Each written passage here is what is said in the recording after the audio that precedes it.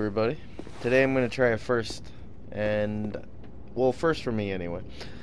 Uh, and that is weapons you never see. Uh, I don't know if this is going to be like a reoccurring thing, but today it is PvP or PvE. Matter of fact, I didn't even know this fucking thing existed until today. Well, not today, last week anyway.